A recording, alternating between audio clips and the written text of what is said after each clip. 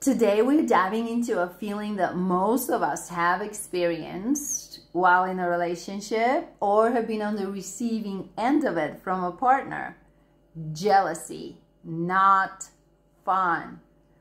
You know that feeling when your heart skips a beat. so You're looking at your partner and they're a little too chummy, giggling a little bit too much, a little too close to someone else. At its core, jealousy is a complex mix of emotions, anger, anxiety, insecurity, fear. It could be just a fleeting thought, a moment, or it can gnaw at you all day. It could cause everyone anxiety, the person feeling it and the person on the receiving end trying to deal with the accusations and all the drama. But here's the thing. Jealousy does not make you a bad person. It just makes you a human being. It's natural human response. What matters is how we understand it and how we choose to deal with it. If left unchecked, jealousy leads to mistrust, resentment, misunderstanding, and lots of fights. But why do we feel this way? And more importantly, how can we stop it from degrading our relationships? At the core of jealousy often lies fear of abandonment. It's that tiny voice on the back of our head that's questioning what if they leave me for someone else? But where does this fear come from? I offer you 10 reasons why someone may feel fear of abandonment. Number 10 is something few ever consider, but is one of the most important ones. Then I will tell you what can be done about jealousy. A lot, actually. So stick around to find out. Number one, early childhood experiences. Let's take a step back and imagine you are a kid again. Maybe you had a parent who wasn't always there when you needed them. Or maybe someone you loved just left without warning. Experiencing the loss of a parent, whether through death, divorce, or prolonged absence, can install a deep-seated fear that loved ones will leave. Whoever loves us leaves us. These experiences plant the seeds of the, that deep fear in our minds, making us think that anyone we love will eventually leave us. Let's get a little psychological here. So according to attachment theory, the way we connected with our primary caregivers as kids influences how we relate to others as adults. If you experience inconsistent care, ambivalent parenting, or felt emotionally neglected, nobody was paying attention to you, you might develop an anxious attachment style. This means you might constantly worry about your partner leaving you, even if there's no real reason to think they would. These early experiences shape the way we view relationships as adults. Even if your current partner is, is amazing, the old fear in your brain creeps in and muddies the water. Number two, past relationship experiences. Individuals who have been cheated on or betrayed in previous relationships develop a heightened fear of abandonment. The pain and betrayal of infidelity makes it difficult for them to trust future partners, leading to anxiety and fear that they will be left again. If someone has experienced an unexpected breakup, particularly if they were deeply invested in the relationship and didn't see it coming, it leads, creates a fear of being blindsided once again. So they're always feeling like they're stepping on eggshells in relationships and that triggers the anxiety and triggers jealousy. Um, they makes them overly cautious and makes them clingy in future relationships. Three, low self-esteem and insecurity. So people with low self-esteem and insecurity struggle to believe that they're deserving of love and affection. And this make them makes them constantly fearful that their partner will find someone better and leave them. And that triggers their jealousy. Uh, so they're super alert to what their partner is doing and who their partner is paying attention to. They may view themselves as unworthy, and that leads to the anxiety of being abandoned. Or it could lead to attempting to control their partners, telling them what they can and can't do, limiting what they can and can't do. Number four, negative core beliefs. Some people hold negative core beliefs about relationships, such as people always leave, or everyone cheats if they get a chance.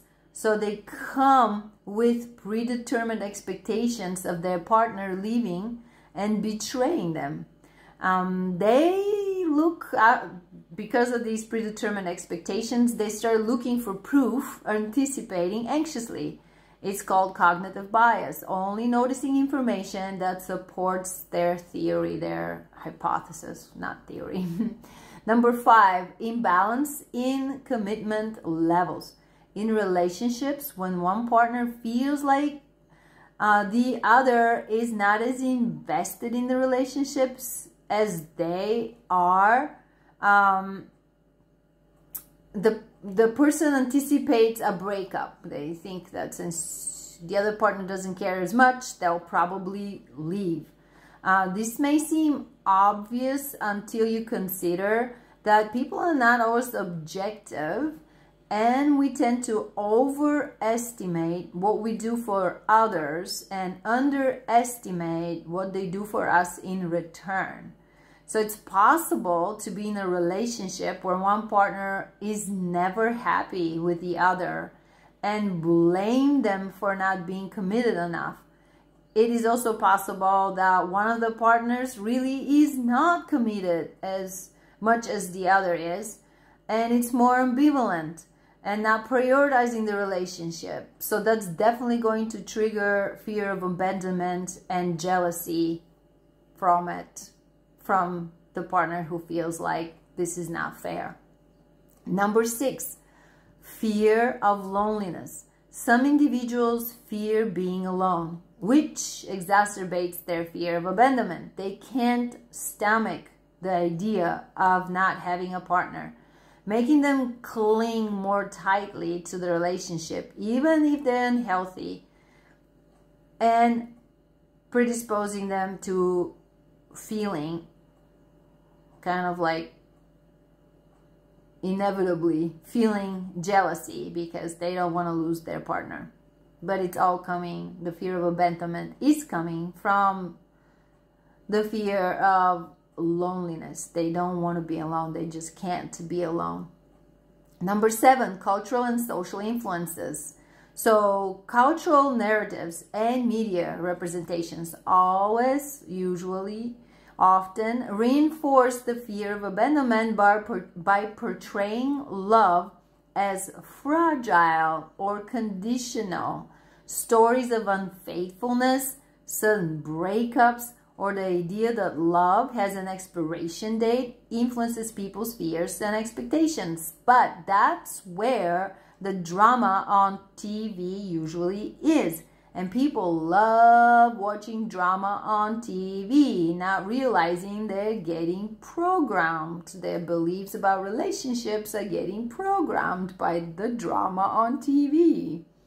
Number eight, perception of scarcity. In some cases, people fear that love, affection, and attention are scarce resources. So they fear when their partner pays attention to someone else like they wouldn't be able to give them the same or more as much as they need of attention and affection and love they also may believe that if they lose this partner no one else will want them so there's like a limited amount of people out there and if i lose this person i'll never get another one um, This goes with the low self-esteem bit and the fear of loneliness.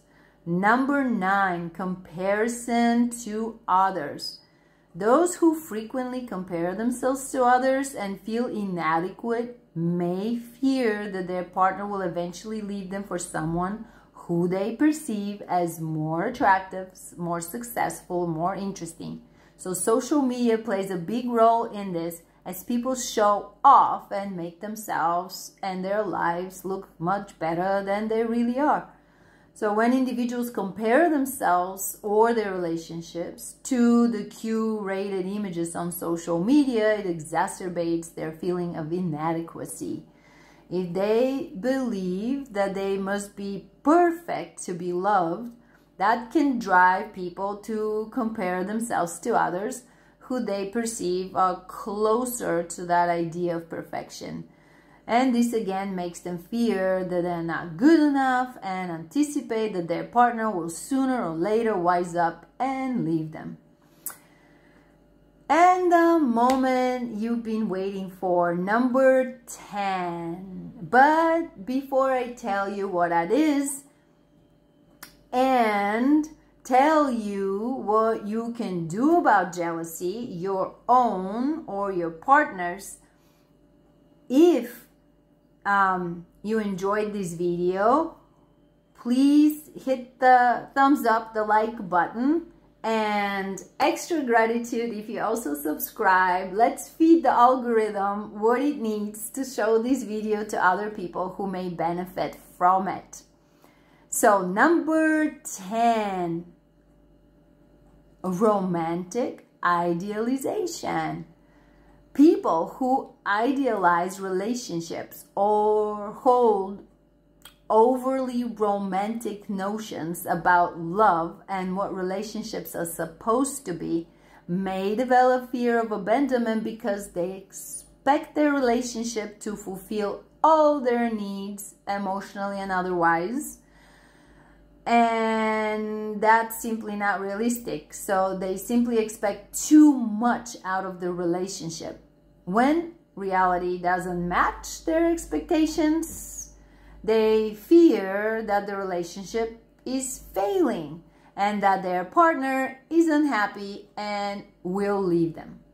Sadly, fear of abandonment underneath jealousy and jealousy often leads to behaviors that unintentionally push a partner away such as being overly possessive, clingy, demanding constant reassurance, testing their commit, testing their partner's commitment, setting limitations on what their partner can do, um, all those things, anger, um, the fights, all those drive the partner away. So jealousy and the fear of abandonment become a self-fulfilling prophecy, prophecy when the partner leaves and now you are abandoned. This creates a cycle um, where the fear of abandonment actually contributes to the relationship's demise. Pretty sad. So what can be done about jealousy that stems from fear of abandonment? If you are the jealous type, you you first must acknowledge your feelings and take responsibility for them. It's not the other person's fault that you are jealous. Whatever they're doing, even if they're doing something bad, jealousy may not be the best response to address the other person's behavior. You must understand that you are seeing your partner and their behavior through and your relationship through a very distorted lens. Then you must identify the root cause of your fear of abandonment. This may take a little while, but every little bit of insight and trying does help. Um, you might have to work on that for a while. You might have to enlist the help of a professional, reflect on what usually triggers your jealousy. That will really, really help you. Um, you can monitor yourself. So if this happens, then I feel jealous. If that happens, then I feel anxious. If this happens, then this. So you kind of figure out what the triggers are. Once you know the triggers, you can have an open conversation, open and honest conversation about this with your therapist and your partner or both in the same room or separately. And then you can explain yourself so they can understand you better, especially your partner needs to understand you better. Also identify um, the behaviors you favor when you feel jealous. Are you the angry type? Are you the stonewaller? Are you the blamer? Do you throw things across the room? Like, do you slam the doors? Uh, do you pick a fight? What do you do when you feel jealous? Ask yourself, ask yourself, how is this behavior serving me? What is the benefit of this behavior? And then you can think of, is there another way I can get to the same place? So I don't break the dishes, I don't piss off my partner, and I don't come out crazy. So whatever the behavior that you have, what is it providing you with? Can you get it another way? Once you figure out what you think the benefit is, you have to figure out what the benefit is. Are you getting the person's attention? Are you feeling loved? Are you feeling empowered? What's the benefit you're getting? Can you get it another way? Perhaps instead of yelling at your partner and accusing them, ask for a hug and tell them you feel uneasy and need their and tell them that you need their reassurance or they you need their attention. What can you do to build self-esteem. A fear of abandonment comes from low self-esteem. What can you do to build self-esteem? So think about where do you feel the weakest and start there. So is it a body image? Is it a career thing? You're not as far as you can go in your job. What is it that's kind of a sore point. And you can start addressing this. So these are actionable things. You can actually do something about your body image like uh, you can work out you can change your diet you can change the way you see yourself. Also remind yourself of your positive qualities and what your partner what your partner appreciates about you from their perspective. If you don't know you just ask them hey what do you appreciate about me? Like why are you with me? Like what do you see in me that um, makes you love me. And so remind yourself of your positive qualities when you're in a low place. Um, when you notice jealousy, jealous thoughts creeping in, challenge them. Ask yourself, am I seeing what I'm seeing? Or am I understanding what I'm seeing properly? Or am I exaggerating, inflating, um, jumping to conclusions? So challenge your own jealous thoughts and see how that goes. Ask yourself if there's real evidence for your fears or if your mind is just telling stories that, you know, trigger your old wounds. If you're on the receiving end of jealousy, just leave. Just kidding. just kidding if the person is very important to you, the relationship is very important to you, work with the person to help them feel seen, loved, and valued. That will immediately distinguish their jealousy, immediately distinguish their fear of abandonment. Positive reinforcement and showing your gratitude go a long way. So dish out the compliments and never miss an opportunity to tell them you appreciate them for something they do, for some for for the way they are. Maybe you love their sense of humor. Maybe they're always there for you. Let them know again and again and again. It's reassurance to them. Um, you too must communicate openly and honestly and be upfront and reassuring when it comes to possibly triggering your partner. So if um, they get nervous when you disappear without telling them where you're going, well, hell, what does it cost you to just tell them where you're going before you go so they know where you are and they don't have to worry about you? leaving them unexpectedly.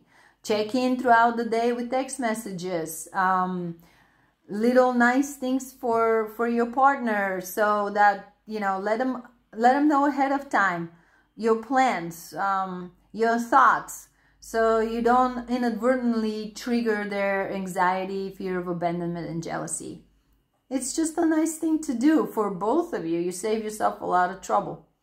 The two of you together can come up with ways to work with the issues at hand, ways that work for both of you. So obviously communication, honesty, openness, willingness to uh, not be right or wrong, but more like a team. Let's figure this out and help each other out.